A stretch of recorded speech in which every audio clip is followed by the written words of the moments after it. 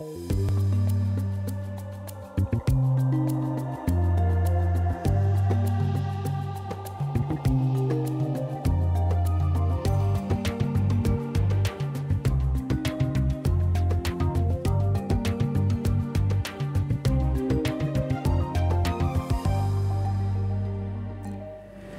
Gran Pirámide es una auténtica enciclopedia de piedra. Te preguntarás por qué digo esto.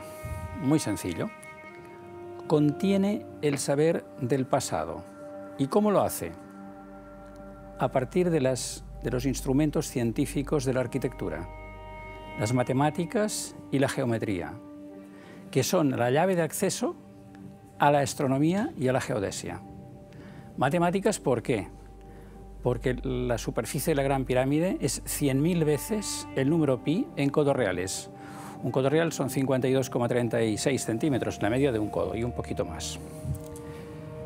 100.000 veces el número pi. La pregunta es, ¿por qué ello? Hay varias hipótesis, en todo caso lo hablamos luego. Pero lo que sí que te puedo avanzar es que estos señores trabajan con seis cifras decimales como mínimo, la duda es si son seis o siete, y se anticipan entre 3 y 4 mil años a la evolución de las matemáticas. Es decir, el número pi con seis cifras decimales no se consigue hasta 3.000 años después y una cifra decimal más otros mil años. La geometría es espectacular. Utilizan el número phi, la divina proporción. Hay unos juegos geométricos en la Gran Pirámide excepcionales. Si eh, le pones una esfera tangente a sus caras, resulta ser que te encuentras con que su superficie es 100.000 veces la raíz de 2. Y por otro lado, encuentras astronomía y encuentras geodesia, porque la Gran Pirámide presenta proporciones con las medidas de la Tierra, por tanto tendríamos geodesia, y los canales estelares de la Gran Pirámide se alinean con el planeta Marte y te permiten el fechado exacto del día en que se inician las obras de la Gran Pirámide y del día que se terminan. Por tanto, podemos decir que la Gran Pirámide es una enciclopedia de piedra del saber del pasado.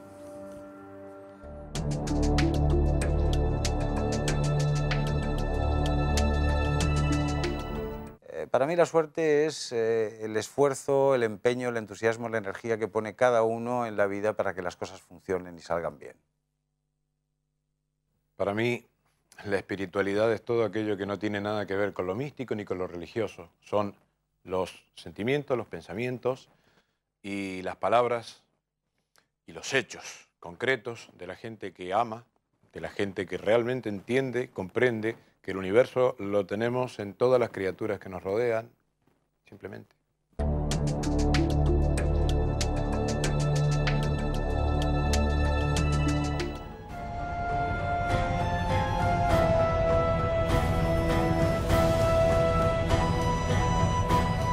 La Gran Pirámide, construida a mediados del tercer milenio antes de Cristo, fue durante muchos siglos el monumento más alto del mundo conocido.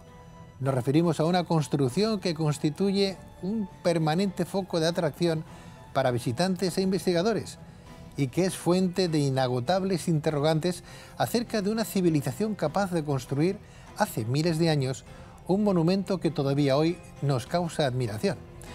Precisamente nuestro siguiente invitado tras años de investigación sobre la Gran Pirámide, nos viene a presentar su última obra en la que desvela el nombre de la civilización madre que pudo dar origen a la antigua cultura egipcia. Hablamos del doctor Miguel Pérez Sánchez, doctor en arquitectura, egiptólogo, poeta y autor de La Gran Pirámide, clave secreta de la Atlántida, de la Rus Editorial.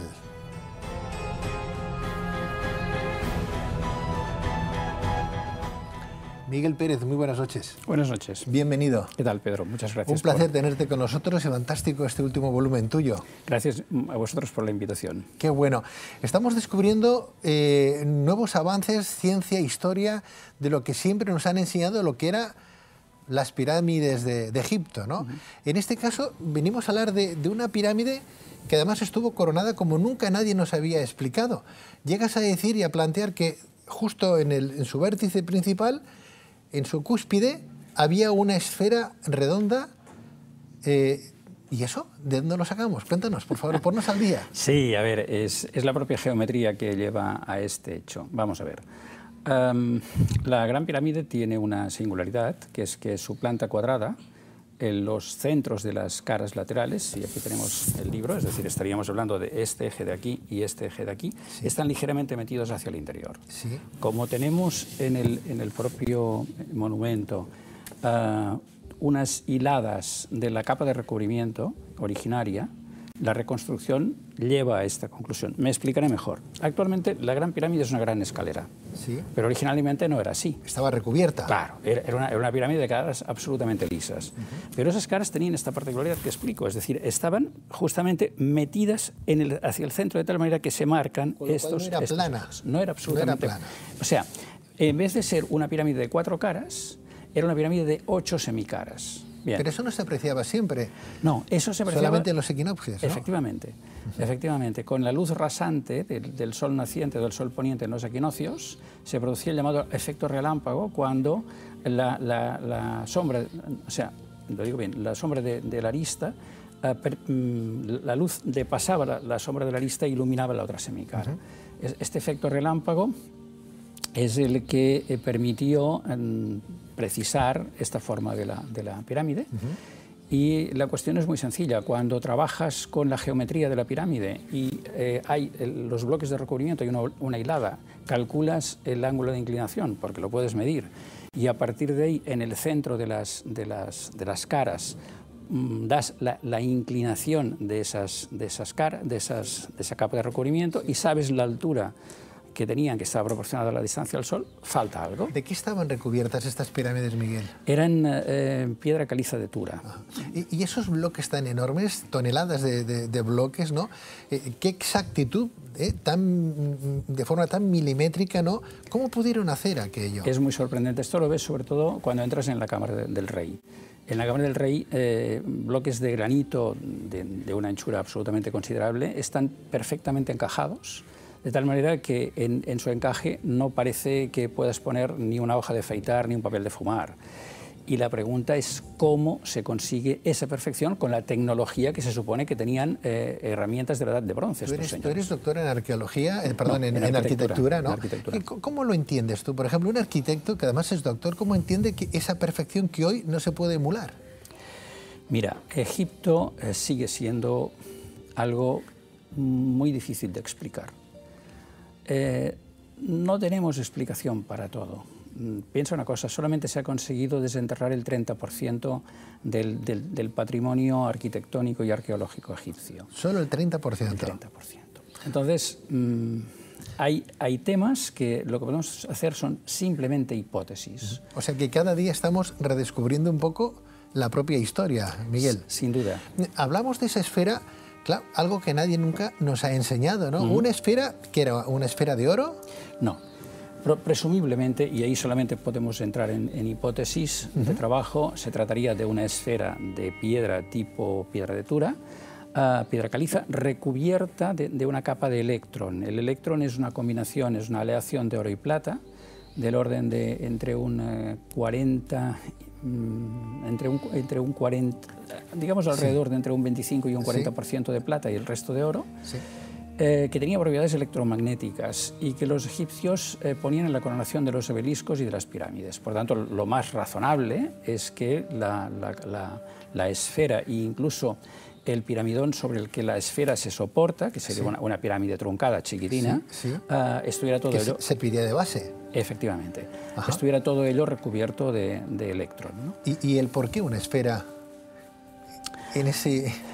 A ver, ¿Qué, eh, qué representa el por qué? Y además eh, con esa tecnología que dices, con esa alineación, no solamente mirando a las estrellas, sino plata, oro.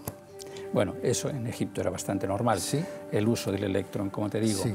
Pero la pregunta es, vamos a ver, ¿cuándo una montaña deviene, entre comillas, mágica?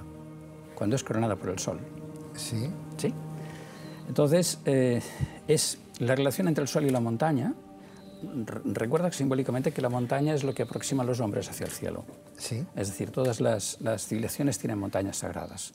De alguna manera, en Egipto no hay montañas y los, y los egipcios construyeron sus montañas Pero sagradas sí, a través pero de las habían, pirámides. habían más pirámides, habían dos pirámides más. Sí, pero ninguna tan alta como esta, que se sepa. ¿eh? Bien. Eh, por eso el nombre de Gran Pirámide. Entonces, vamos a ver, el- la esfera simbolizaba el Sol, pero no solo simbolizaba el Sol, sino que estaba proporcionada con la medida del Sol. Entonces, claro, el- lo auténticamente sorprendente es que la altura de la pirámide estaba proporcionada con la distancia al Sol y la esfera de, la- de- de coronación estaba proporcionada con el diámetro del Sol. Y claro, la pregunta es, ¿estos señores conocían el diámetro del Sol? ¿Qué, qué nivel de conocimientos astronómicos tenían? Absolutamente sorprendentes a todas las escalas. ¿Quién aportó ese conocimiento a esta cultura? Bien, esa es una de las preguntas históricas que se han ido haciendo, se, se han ido haciendo los, la egiptología en general, los, distintos profesionales que trabajan en el mundo de la egiptología, conforme han ido profundizando en, el saber del antiguo Egipto. La pregunta es, es justamente esta. Y lo que ocurre es que nuestro proceso de investigación nos ha llevado a un camino novedoso que algunos habían insinuado, eh, que es que eh, el antiguo Egipto es heredero de una civilización anterior desaparecida. O sea, leyendo tu magnífica obra La Gran Pirámide, y además la vamos a recomendar, está saliendo en pantalla, ¿verdad? Pero este es el manual, un señor manual de un señor doctor en arquitectura que además ha trabajado mucho como egiptólogo para demostrarnos este buen saber histórico que él ha venido a, a trabajar durante tanto tiempo, tantos años, ¿no? Eh, tú dices que de alguna manera la enseñanza que tienen estos arquitectos o constructores de estas pirámides eh, venía de una civilización anterior, que podía ser la civilización atlante, que tras el diluvio universal que todos conocemos por las Sagradas Escrituras, por ejemplo, los que quedaron vivos acabaron en Egipto, que en, en principio Egipto no se conocía como tal. Estamos A ver. hablando de 3.500 años antes del nacimiento de Cristo. Sí, vamos a ver, aquí es necesario matizar distintos temas. La, la mitología egipcia habla de que Egipto fue gobernado por semidioses durante miles de años. Bien, es mitología, no sabemos qué elemento de realidad hay. Pero lo que sí que hay es que el proceso de investigación eh, me ha llevado a conclusiones eh, que permiten mm, defender desde el punto de vista científico la existencia de la Atlántida. Vamos a ver, ¿a través de qué camino? Resulta ser que la, la- la lengua griega utiliza un, o sea, utilizaba letras seguidas de un apóstrofe para designar los números. No tenían la numeración arábiga, que es posterior. Ah, así el número 1 era el alfa seguido de un apóstrofe, el número 800 era la, la omega seguido del apóstrofe, y entre el alfa y la omega había toda una serie de, de- de- de numeración que iban en ocho eh, letras, ah, que eran para, para las decenas, ocho, perdón, ocho para las unidades, ocho para las decenas y ocho para las centenas. Entonces, si nosotros sustituimos en las palabras eh, los valores de las letras y los sumamos, obtenemos un valor de palabra. Sí. Bien. Eh, ¿Por qué vino esa investigación? Porque vimos que en, en la Gran Pirámide y en Giza empezaban a aparecer una cantidad de, de números repetidos. El más impresionante de todos era el 888 y también el 892. ¿Qué representan? El 888 hemos llegado a la conclusión de que representa un dios uno primigenio, Sí. ah, del cual eh, hay- está documentado en Egipto como Neterwa en el cuarto milenio antes de Cristo, y que entendemos de que era el dios único de la civilización atlante. Pero el 892, eh, después de investigar eh, 6.000 palabras en lengua griega, solamente hay una que contenga el número 892, la palabra Atlántida, Atlantis en griego. O sea que de alguna manera los padres de la cultura egipcia fueron los atlantes. Esa es la conclusión a la que llegamos. Vamos a ver, hay como mínimo, bueno, hay un montón de, de pruebas, eh, pero voy a, voy a comentar tres. La altura de la esfera más el piramidón eran 0,0892 Sí. pletros. Un pletro es un segundo de arco de la circunferencia media de la Tierra. Eso es, un- es una afirmación de, de- de mi, de mi proceso de investigación. Hasta ahora no se sabía exactamente qué era un pletro. Un pletro es la sexta, es la sexta parte de un estadio. Sí. Esta- eh, según mis cálculos, son 30,8875 metros, es decir, un poco más de, de 30 metros, Sí. casi 31. Y em, esa sería una de las pruebas. Otra es que la suma de los 80 ángulos de la Gran Pirámide en segundos de arco da un múltiplo de 892. Y hay una tercera que es absolutamente, eh, digamos, sorprendente, que es la siguiente. El sarcófago de la Cámara del Rey, reconstruido con la tapa original, ah, es una 892.000 parte del volumen de la Gran Pirámide. Claro, 892 quiere decir Atlántida y la pregunta es 1000, ¿por qué? ¿Por qué, ¿Por qué hablo de 892.000? Bien. Otra vez el proceso de investigación a través de los canales estelares eh, nos permite situar exactamente la fecha inicial y final de las obras de la Gran Pirámide y eh, a través de Plutarco hallamos la fecha de la muerte de Osiris. Llego a la conclusión de que Osiris es la personificación de Atlantis y da la casualidad de que como Plutarco da la posición del Sol y de la Luna y el día del año, da la casualidad de que entre la fecha que marca, se marca de la muerte de Osiris, mitológicamente, y la fecha de la inauguración de la Gran Pirámide pasan exactamente mil años. Por tanto, 892.000 tendría el sentido de Atlántida mil años. Por tanto, la conclusión del proceso de investigación es que la Gran Pirámide es el monumento conmemorativo del milenario de la destrucción de la Atlántida.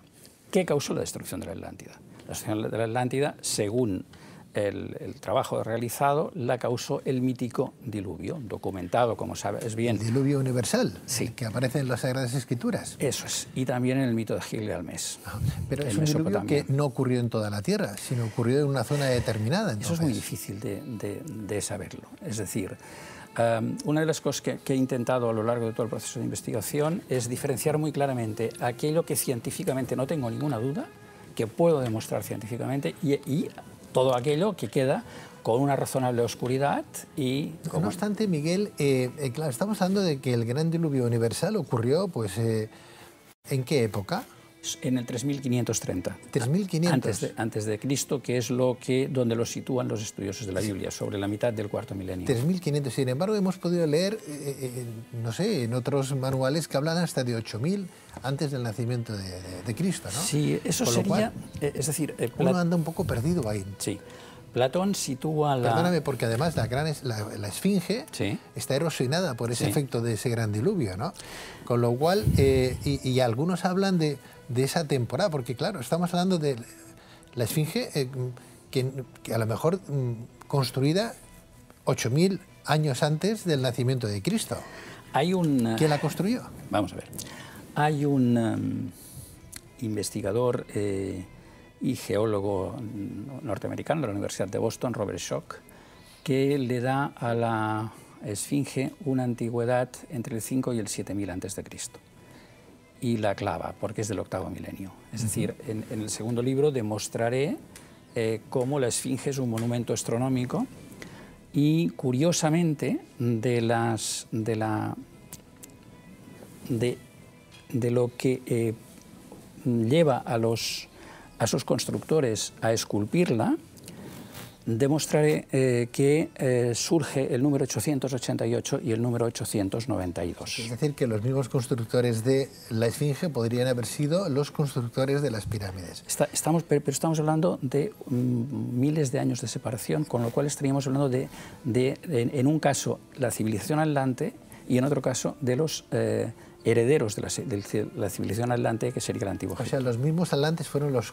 constructores de la Esfinge? Ninguna duda. ¿Ninguna duda? Ninguna duda. ¿7.000 años antes del nacimiento de Cristo? Mm, por la marca del 892. Entiendo yo que la fisonomía, la cara de la Esfinge cambió. Sí, claro. Ahora tenemos otra, claro, ¿no? Claro. Más tirando a Faraón, antes habría pues otra figura, un león. Un león, un león. Un león. un león. O sea que desaparece Atlantis en sí y, y 4.000 años posteriormente los que quedan vivos de, de esa civilización son los que llegan y construyen el pueblo egipcio. No, no es exactamente así. Es decir, eh, de hecho, Atlantis desaparece en 3530.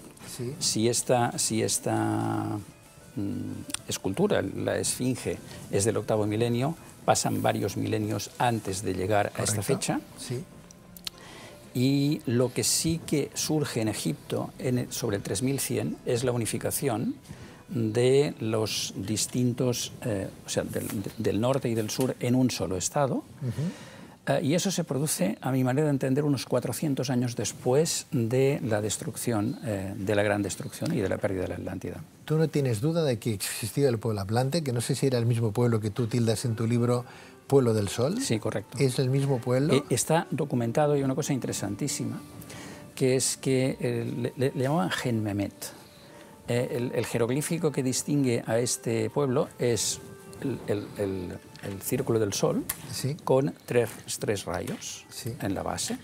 Si tú te miras la coronación de la Gran Pirámide, tienes la esfera y, tienes las tres líneas que corresponderían, que corresponderían a cada una de las aristas. Si aquí pones una esfera, este símbolo sería el símbolo, mira, lo, tienes en pantalla, sería el símbolo del Gen Mehmet, de, de los Gen Mehmet del pueblo del Sol.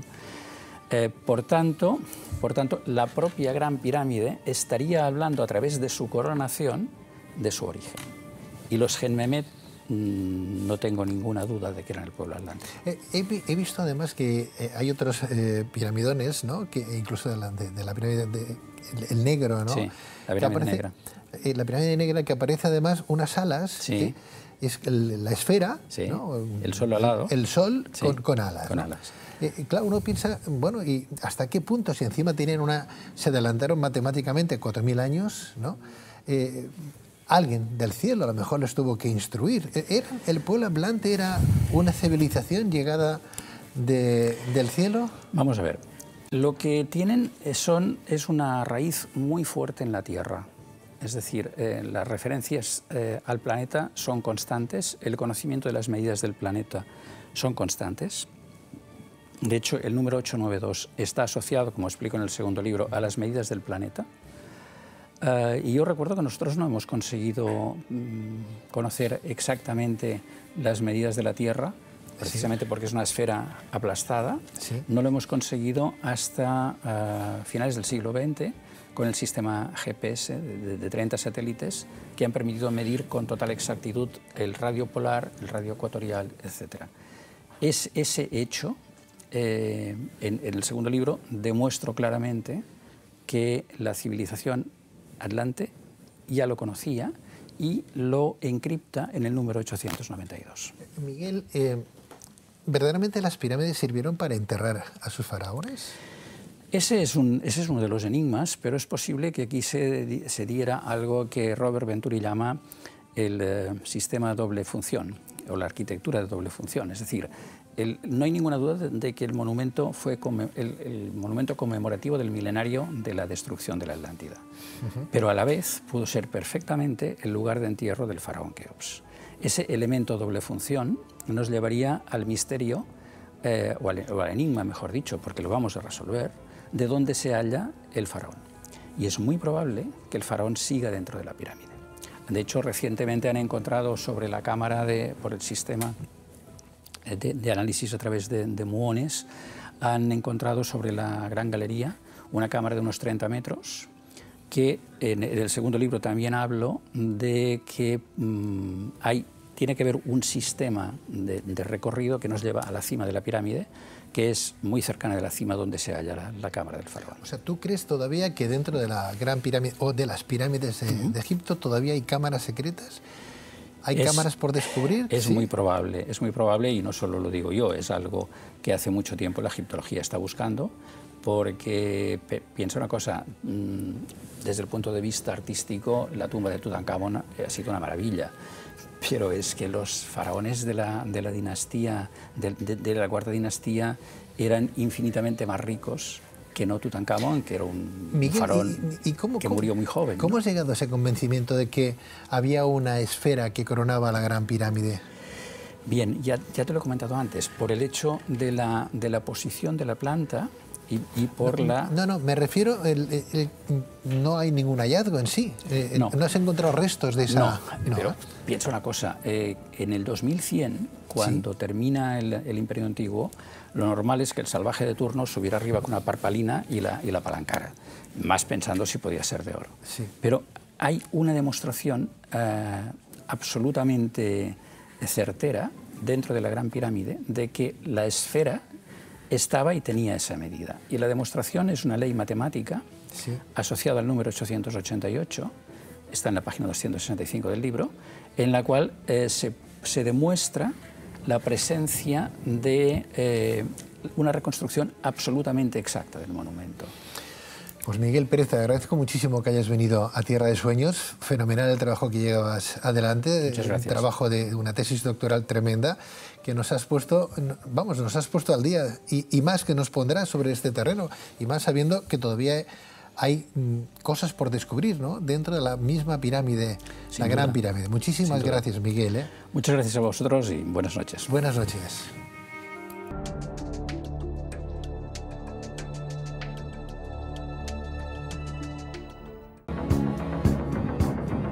Luces en la Oscuridad, un programa que habla de mente, cuerpo y espíritu.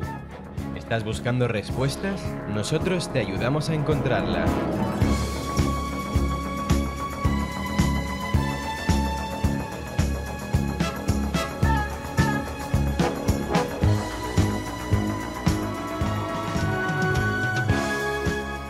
¿Quieres ser una luciérnaga más en la noche? Bienvenidos a Luces en la Oscuridad.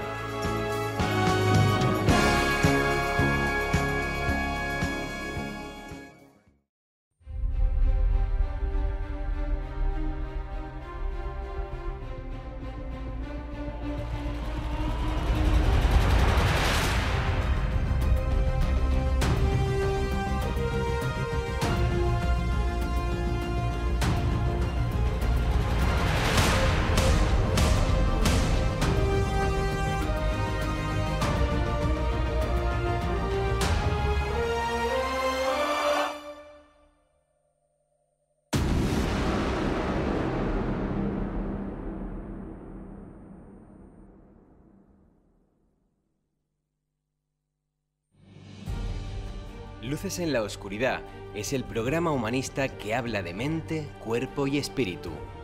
En nuestro afán por llegar a todas nuestras luciérnagas, hemos querido dar un paso importante y crear una nueva APP para que puedas escucharnos desde y cuando quieras.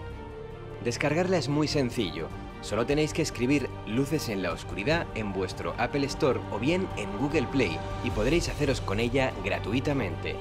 Os esperamos en Luces en la Oscuridad.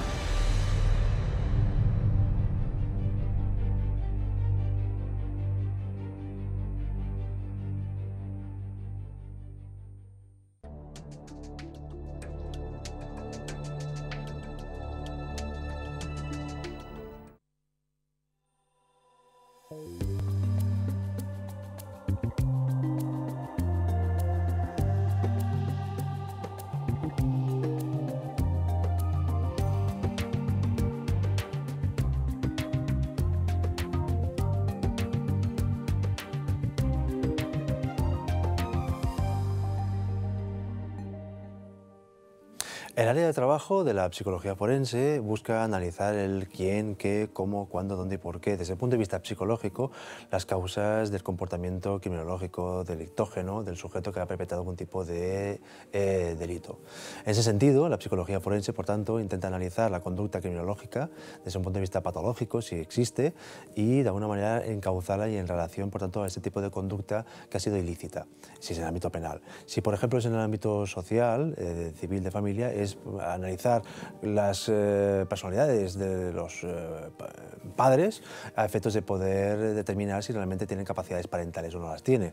En ese sentido, de alguna manera, por tanto, entre las diferentes eh, áreas temáticas que pueda, digamos, abordar la psicología forense, intenta, por tanto, siempre analizar el comportamiento humano en ese sentido.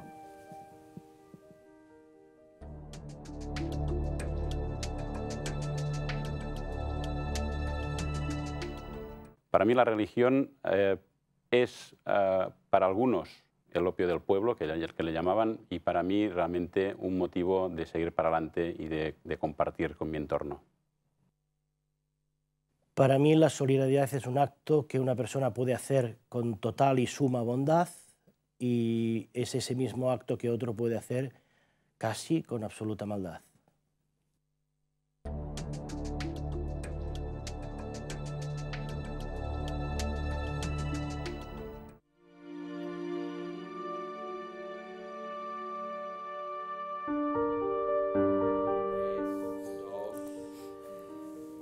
La psicología es la ciencia que estudia en un sentido amplio la conducta humana y los procesos mentales. En este sentido, la psicología forense es una rama de la psicología jurídica que estudia e interviene en los procesos judiciales con el fin de aportar datos y conocimientos que ayuden a resolver todos los casos. Precisamente nuestro siguiente invitado en su última obra expone una serie de conocimientos adquiridos tras 18 años de experiencia en la práctica forense. Bernard Tifón, doctor en psicología, psicólogo jurídico, perito psicólogo forense, escritor y autor de Atlas de Psicología Forense, de Voz Editor.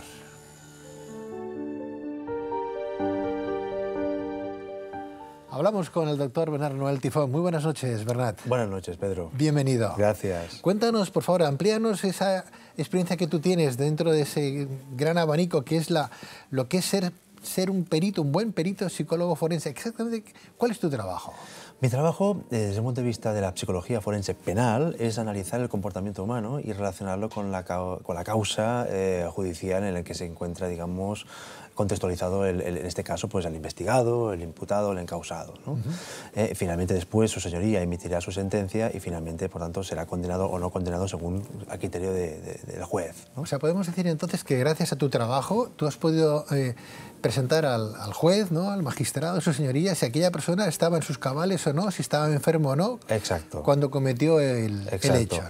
Es, es, una tarea muy difícil porque evidentemente el perito no es, se encuentra presente en el momento de cometer el, el, el delito ¿eh? uh -huh. y lo que tiene que hacer es un análisis de, o una, y una interpretación desde un punto de vista retrospectivo en el tiempo. Por tanto, se tiene que retrotraer ¿eh? a, a, a, lo que es a, a la comisión de los hechos. Por tanto, nosotros cuando los peritos psicólogos, eh, psiquiatras, es decir, expertos en salud mental, eh, les, les, eh, les, encomiendan, digamos, el trabajo de hacer una pericial relacionada, pues en este caso, con una causa de delito de sangre, uh -huh. siempre se tiene que analizar el comportamiento que ha desarrollado el, el, el, acusado en relación, por tanto, al, al, a ese delito que ha cometido.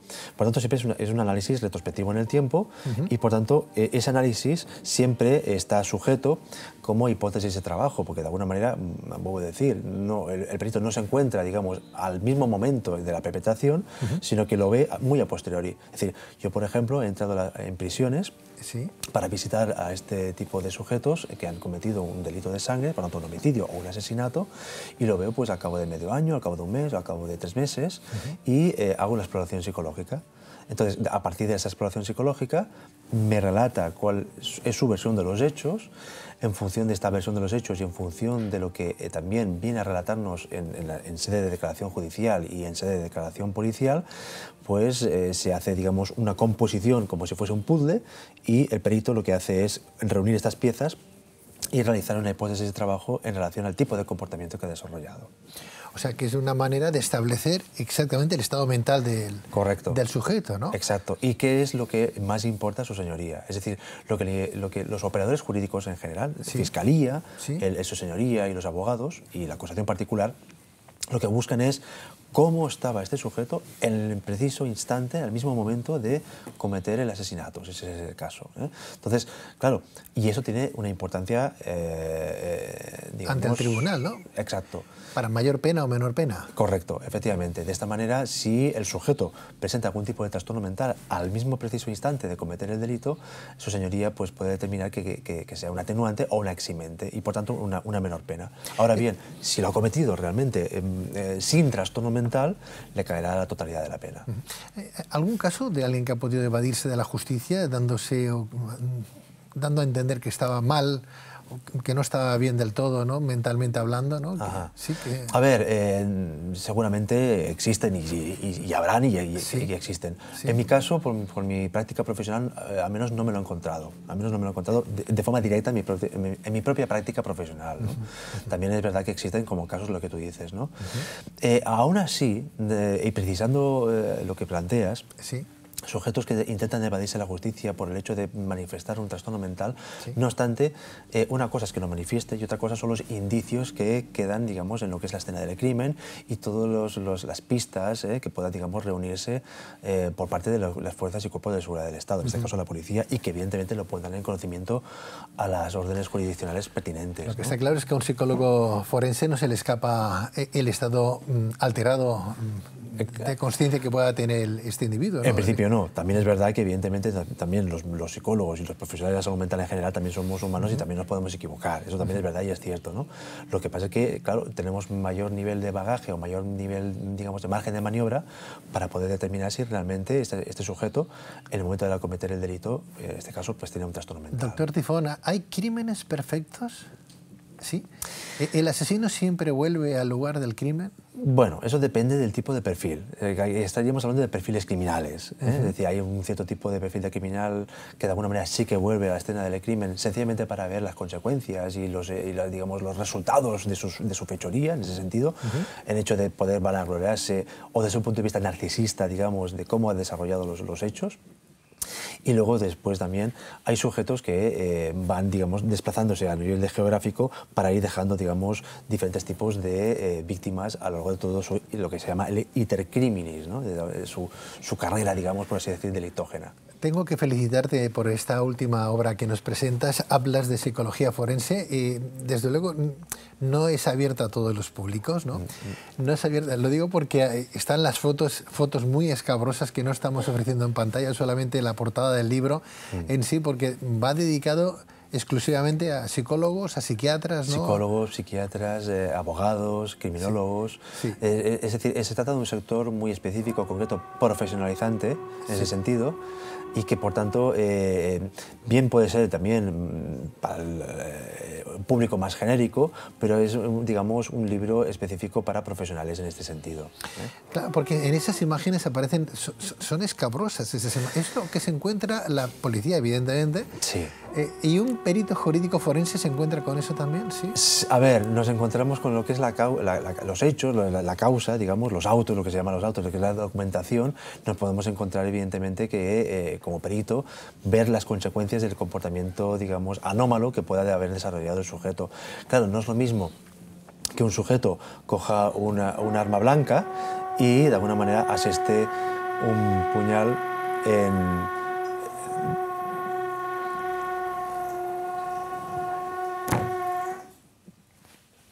Esto sale. Sale, ¿eh? Sí. Hostia, qué putada. Es que se oye. Se oye, se oye, se oye. Se oye. Se escucha. Lástima porque vamos bien. Y vamos muy bien. Sí. Hay que empezar de nuevo, ¿no? No, no, no. Lo que tiene ahora, lo que, de la forma que tenemos aquí de trabajar, es que volvemos atrás y conectamos, clac, clac, a diferencia de Canal 25, que había que repetirlo todo. Ya, vale, hostia, vale. Bueno, ¿Ves lo pues que te hace la chaqueta? Este, ya lo veo, estos movimientos. ¿eh? Sí, el dibujo este. Y te no moverme tanto. Bueno, queda, queda, bueno, queda de, de colorines. Vale. Pero pues, si otro día vas a una tele mm. que sepas que... Que Lisos, más que de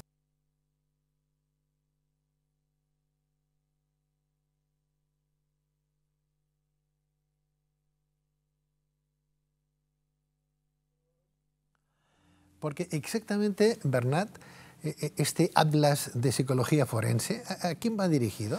Va dirigido a profesionales, eh, por excelencia, es decir, pues, a, profesionales de salud mental en general, a psicólogos, sobre todo, evidentemente, por el título que, de alguna manera pues, emana, psiquiatras, criminólogos, médicos forenses, abogados, y por tanto va a un sector específico de la población, digamos, por así decir, lectora. Eh, aparecen una serie de fotos ahí que por, por, horario y porque no, vamos, no las podríamos llegar a ofrecer porque las tiene que, eso lo tiene que ver un psiquiatra, un, un psicólogo, alguien muy es, específico. Específico, claro, vemos personas que están decapitadas, gente que se ha ahorcado. Exacto. Eh, eh, vaya, vaya imágenes con las que os encontráis en un momento determinado. ¿no? Exacto, son imágenes impactantes, son imágenes impactantes y que de alguna manera muchas de estas imágenes vienen, son fruto, digamos, de mi propia experiencia profesional como tal.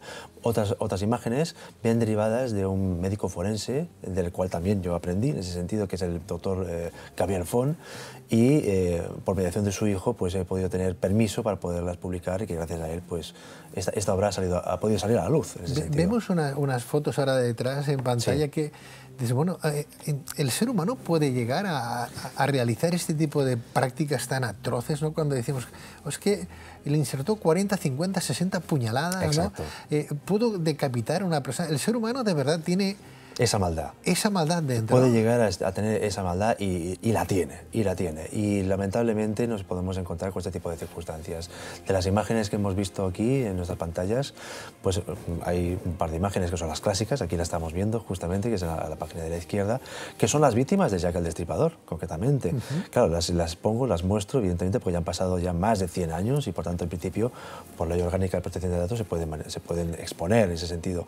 Pero se ve cómo Jack el Destripador, sobre todo con la última víctima, realmente le hizo una, una gran, digamos, masacre importante. ¿eh? ¿No se puede prevenir el, la, actuación de un elemento de esta categoría? O sea, la misma familia, su entorno cercano no puede darse cuenta que algo, hay una disfunción ahí mental que no es muy normal. Podemos eh, apreciar que hay una disfunción, incluso hasta la, policía misma, la policía misma lo, lo, dice, es decir, hasta que no se materializa el delito no puede hacer nada, no pueden actuar, no pueden detener a alguien. ¿no? es decir, existen una serie de indicios que nos puede ponernos en la tesitura de considerar que este sujeto pues a lo mejor presenta una tendencia agresiva, pero hasta que no lo materializa, no se puede hacer nada.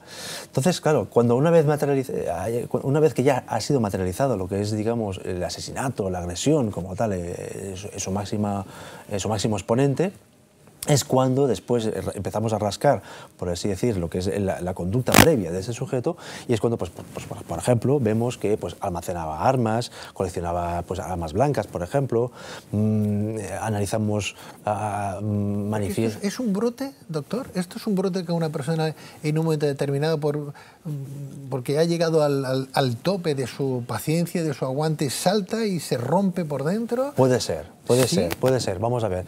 Si se trata de un sujeto que no tiene ningún tipo de trastorno mental, puede ser que, de alguna manera pues, tenga un bajo umbral de paciencia, tenga un cierto, elevado, un cierto nivel elevado de irritabilidad y de agresividad y explote, digamos, de forma conductual de esta manera. Y si es el caso contrario, es decir, en el sentido de si ese sujeto tiene un trastorno mental y tiene un brote psicótico y en función del el contenido de pensamiento alterado por un, por un delirio y, una, y o una alucinación por cuyo pues, eh, contenido este sea de tipo místico, demoníaco, agresivo, de boicot, eh, pues de alguna manera pues, puede desarrollar un comportamiento agresivo, pero siempre está contextualizado en un contexto de trastorno mental. ¿Eso significa que dentro de cada uno de nosotros, de todos los seres humanos, puede haber un, un enemigo interno? Sí. ¿Todos somos posibles candidatos a, a no sé, a a sufrir una patología tan tremenda como esta, un trastorno de... Puede ser. Bueno, el clásico de los clásicos por antonomasia, que era Freud, siempre nos dijo que de alguna manera que cualquiera de nosotros, pues de alguna manera, pues tiene un cierto elevado de patología o de neurosis, ¿no? De hecho, con su teoría famosa, que es la, tríada, ¿no? de la tríada del yo, super yo y el ello, ¿no? En el que el ello es el impulso, el yo es la personalidad y el super yo es, digamos, el que controla un poco estos impulsos y los, modula, digamos, por así decir, en la sociedad. Claro, si tenemos un ello muy grande, en terminología de Freud, y por tanto un impulso muy, muy elevado, es posible que de alguna manera pues, eh, desarrollemos una conducta sexual y, o agresiva de forma, digamos, anárquica. Doctor Tifón, eh, la Organización Mundial de la Salud nos viene a advertir que el setenta y tantos por ciento de la población europea eh, se levanta con pensamientos negativos. Eh, estamos con pensamientos negativos todos los días. más del 70%. no pensamientos positivos, pensamientos negativos. Claro, bajo, yo no sé cómo habrán hecho estas estadísticas, estos números, ¿no? pero esto es muy grave, pensar que eh, el 70% de la población, si no más, cerca del 80%, tienen pensamientos recurrentes que son negativos. Bajo esa tesitura... es fácil ¿Qué podemos esperar, no? Claro, eh, podemos esperar, evidentemente, no, no, la cosa, de todo, evidentemente, sí, sí, está claro. Y, que, evidentemente, nuestra sociedad de hoy en día ¿eh? Eh, nos ha conducido a esta propia circunstancia, de, tener que desarrollar pensamientos totalmente negativos. Que si no es por la falta de poder pagar la hipoteca, si no es porque hemos perdido el trabajo, si no es porque de alguna manera tenemos problemas de pareja, si no es porque de alguna manera existen problemas eh, relacionales y de generación entre padres e hijos, si no es por problemas, digamos, por pues, el ámbito laboral, por temas de tipo mobbing, por ejemplo, por así decir. Claro, estamos, por así decir, si me permite la expresión eh, o la palabra, infestados de problemas. Eh, unos con más y otros con menos. Y, y- y que de alguna manera, pues cada uno vamos sorteándolo como mejor podamos. Este atlas que desde luego presentas a los especialistas, desde luego mm, eh, hay un antes y un después. De, Yo creo que sí, yo creo que sí. Antes y un después, ¿no, Bernat? Porque claro, hay mucho trabajo ahí de investigación, Sí. mucha fotografía. Sí, muchos mu- años, Muchos años eh, Sí. de, de trabajo, trabajo duro, ¿no? Sí. Eh, hay, eh, ¿Qué tipo de patologías son, por ejemplo, los que engloban estos trastornos afectivos de los que hablas en este Hablas? Porque vemos imágenes, vemos fotografías, Sí. pero entiendo yo que eso ten- tiene que estar encauzado a ciertas patologías, no Exacto. todas, ¿no? Dentro de la psicología. Hay un capítulo que es el eh, dedicado, digamos, a los trastornos depresivos y que los trastornos depresivos mayores, en graves, evidentemente, desembocan a lo que es la conducta suicida. Y eso, de alguna manera, pues existen diferentes tipos de conductas suicidas. En ese sentido, pues se ven fotografías de ahorcados, fotografías de personas que se han tirado las vías del metro, las vías del tren, por ejemplo, gente que ha, eh, ha ingerido salfumán, por ejemplo. Son personas que están desesperadas y que de alguna manera ante la desesperación de la vida solamente buscan una única solución, que es en este caso el suicidio. Hay también una serie de fotos también impactantes, que es el hecho del suicidio ampliado, es decir, sujetos, personas que a su cargo tienen, por tanto, hijos y que eh, en relación, digamos, a que consideran que, por tanto, la vida no vale la pena vivirla, deciden de alguna manera matar a sus propios hijos para luego finalmente suicidarse ellos. ¿eh? Es una situación ¿Son muy... trastornos eh, esquizofrénicos, trastornos bipolares? ¿Qué, qué tipo de patologías? Los, los casos que acabo de describir son más bien compatibles con trastornos depresivos mayores, graves, graves. Es decir, en el que el sujeto realmente eh, considera que la vida no vale la pena vivirla, que, no, que de alguna manera no tiene ningún tipo de aliciente y que la única em, posibilidad que tiene para poder salir de este atolladero es única exclusivamente con la muerte. ¿Verdad? Como, como psicólogo, ¿la sociedad ayuda a que este tipo de disfunciones ocurran o todo lo contrario? A ver, la sociedad ayuda eh, o intenta ayudar, evidentemente, eh, el paliar, digamos, la sintomatología depresiva, evidentemente, por parte de los servicios sanitarios públicos y privados, psicólogos, psiquiatras, enfermeros, enfermeras, asistentes sociales. Otra cosa es todo el conjunto de circunstancias vitales que le rodea a este sujeto para que tenga que decidir, lamentablemente, eh, quitarse la vida. No es de buen agrado, evidentemente, que un sujeto quiera, quiera la- quitarse la vida y menos, evidentemente, matar a sus congéneres para luego suicidarse él mismo. ¿Un trastorno de personalidad límite qué es? Un trastorno de personal límite es un patrón rígido de comportamiento. Se trata de sujetos que presentan una inflexibilidad en su forma de pensar, en un contenido de pensamiento totalmente rígido, inflexible, eh, y que le provoca un conjunto de alteraciones en las relaciones interpersonales de- del día a día, ya sea a nivel familiar, ya sea a nivel social, a nivel, por tanto, también a nivel profesional. Un trastorno de personal límite son personas que se caracterizan por tener un sentimiento crónico de vacío, tienen unas relaciones interpersonales en las que se caracterizan en que eh, eh, por la conflictividad, en la que de alguna manera existen conflictos día sí y día sí, y que de alguna manera pues, provoca evidentemente malestar. Son personas que además acostumbran a llamar la atención con el hecho de eh, autoagredirse, como, digamos, eh, dar la imagen a la otra persona de que se quiere suicidar, cuando realmente no quiere suicidarse, lo que quiere es llamar la atención, conseguir la atención de las otras personas. Entonces, por eso, de alguna manera, también dentro de esta, de esta obra de Atlas de Psicología Forense, Existe un conjunto de fotografías en las que se ve y se aprecia cómo sujetos con trastorno límite de personalidad, pues se ve el, el indicio de que eh, se, se, eh, autolesionan. Pero eh, no es lo mismo la autolesión de un trastorno límite de personalidad que realmente la autolesión grave de un trastorno depresivo mayor que realmente... La persona que cree- avisa que voy a hacer esto, voy a cometer un, un atropello, ¿la que avisa lo comete o no? Hay que tenerlo en consideración. Cuando avisa, hay que tenerlo en consideración. Que luego después lo cometa o no, eso ya, ya lo veremos con el tiempo. Pero siempre cuando un sujeto pues, mm, avisa, hay que siempre eh, tenerlo presente por si acaso. Por si acaso. Pero No, también no hay hay, que... no hay síntomas que avisen, ¿no? No, que nos pongan sobre, sobre aviso de que algo no funciona bien. Mm, en principio, síntomas muy evidentes, claras, eh, es difícil detectarlas. Y si existen, si existen, siempre hay, que- hay que tomarlas en consideración. Hay personas que, por ejemplo, pues, eh, les ha dicho a algún familiar que no vale la pena vivirla eh, y, y, bueno, ese familiar, pues de alguna manera, pues no le dio ningún crédito y finalmente se encuentra al día siguiente que, que tiene el cadáver en su casa. En ese sentido. Por tanto, claro, hay que tener, digamos, cierta, cierta, digamos, margen de credibilidad a las manifestaciones que, y sobre todo también el tipo de entonación, cómo lo dice, en qué momento lo dice de su, de su propia eh, eh, circunstancia vital, su vida, eh, para poderlo, digamos, tener en- digamos, presente. ¿no?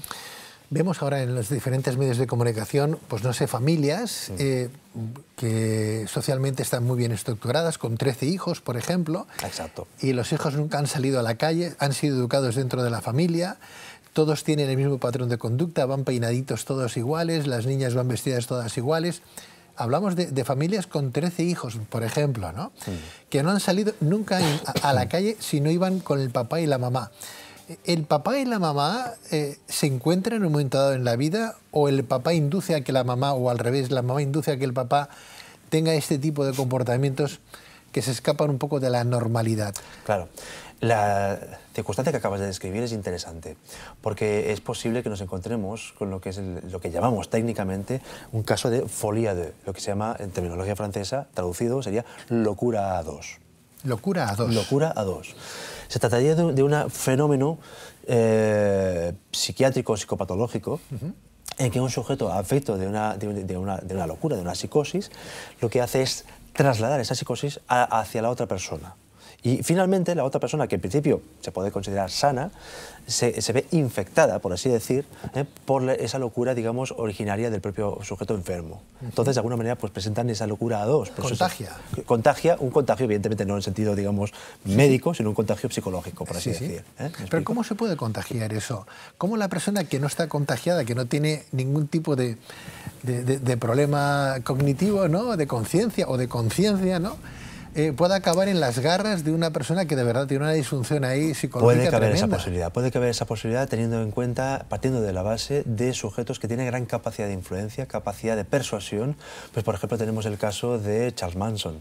Sí. Charles Manson, que ejemplo, tuvo sí. la gran capacidad de influir, de influenciar, eh, perdón, influenciar sobre mm, tres, cuatro mujeres que finalmente perpetraron el delito y mataron, entraron, digamos, en el domicilio de Sharon Tate y mataron a Sharon Tate y sus amistades en ese sentido, ¿no? Es decir, se trata de sujetos que tienen gran capacidad de labia, gran capacidad de convicción, eh, gran capacidad, digamos, de poder convencer a, otro tipo de sujetos, sujetos que además están expuestos a este tipo de, digamos, de, verbalización por parte de que lo emite. Y además son sujetos que tienen rasgos de personalidad dependientes y rasgos de personalidad, digamos, por así decir, eh, de, poca, digamos, fortaleza eh, en su estructura de personalidad caracterial. Doctor Tifón, ¿a, a qué tipo de presión eh, se hayan sometido los profesionales, los especialistas de tu talla, por ejemplo, eh, que, que debéis de emitir, por ejemplo, pues, di- diferentes dictámenes ¿no? ante un, juez ¿no? sobre la salud mental de alguien en concreto? ¿no? Hay presión ahí, supongo, y, mucha, ¿no? Bueno, la presión es eh, el tener la responsabilidad de, de cómo emitir unas conclusiones relacionadas con lo que es la causa. Es decir, eh, los operadores jurídicos evidentemente nos, nos piden opinión profesional con respecto a la causa judicial. En relación, evidentemente, si es en el ámbito penal, qué tipo de trastorno mental, si lo tiene, el sujeto que ha perpetrado un delito de asesinato, un delito de sangre. En ese sentido, como profesionales, hemos de dedicarle cierto nivel de atención para poder apreciar realmente si este sujeto, en el momento de cometer los hechos, realmente sí que tenía o no tenía el trastorno mental. Más que nada porque, evidentemente, cuando tenemos que luego, después, a deponer en- en acto de juicio oral, nos vamos a tener que estar sometidos a un gran conjunto de preguntas, ya sea por parte del abogado de defensa, por parte del abogado de la acusación particular, por parte del Ministerio Fiscal y por parte de su señoría. Y si es el caso, si es un delito, digamos, por tanto, de jurado, es decir, que de alguna manera eh, intervengan los, los 11 miembros del jurado, pues evidentemente hemos de exponernos también a, ese- a las preguntas de, de los, de los- de los miembros del jurado. Te deseo todos los éxitos del mundo, Bernat, que los tienes, ¿verdad? Muchas no hace falta que te los, eh, que te los eh, vuelva a llamar la atención porque los tienes ahí. Gracias, Hace muchos gracias. años, ¿no? Que además los conocemos y que los vienes trabajando, ¿no? Hace muchos Todos años. los éxitos del mundo sobre ese atlas eh, de psicología forense de Voz Editor- eh, Editores, que recomiendo a todos los psiquiatras, psicólogos, policía, Sí. que nos pueda estar viendo en el día de hoy, porque desde luego es un tratado que nos va a poner al día de lo que, de lo que ha sido el hombre y de lo que sigue siendo, ¿no? Exacto. Ojalá podamos llegar a cambiar esa, transmutar ¿no? ese pensamiento negativo, ¿no? Ojalá, Ojalá. ojalá, ojalá. Muchos éxitos, muchas gracias por venir a Tierra de Sueños. Un placer, como siempre, Pedro. Gra- gracias, Bernat. Mil gracias a ti. Buenas noches. Buenas noches.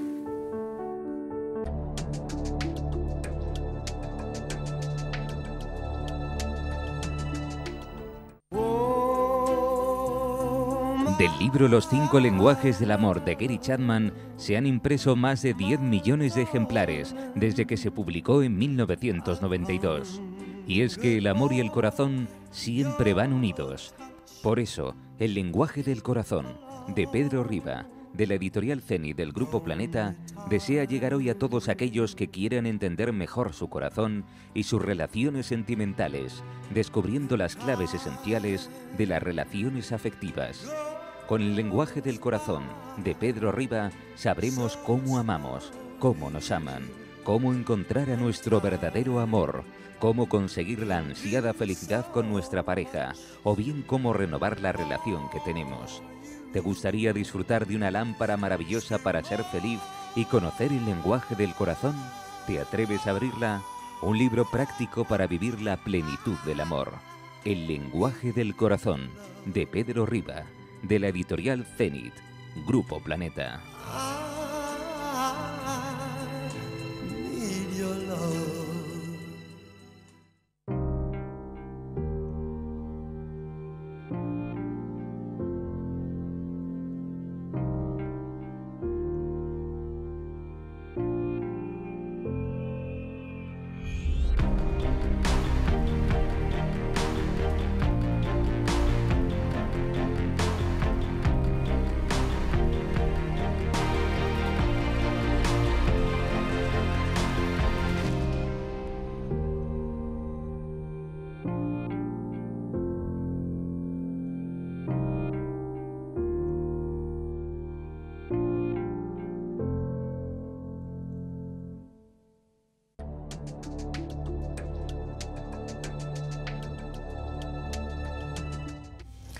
Bien, pues hasta aquí hemos llegado en este Tierra de Sueños. Volveremos en una próxima edición, que será la semana que viene.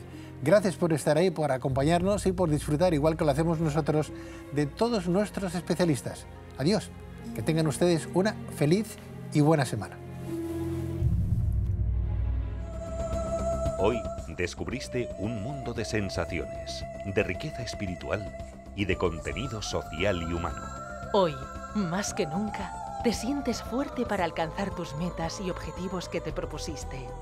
Hoy has descubierto herramientas para tu crecimiento interior, tu calidad de vida y tu conocimiento del mundo real y onírico. Cierra puertas, abre caminos, sigue el viento y deja el sol a tu espalda. Tierra de sueños.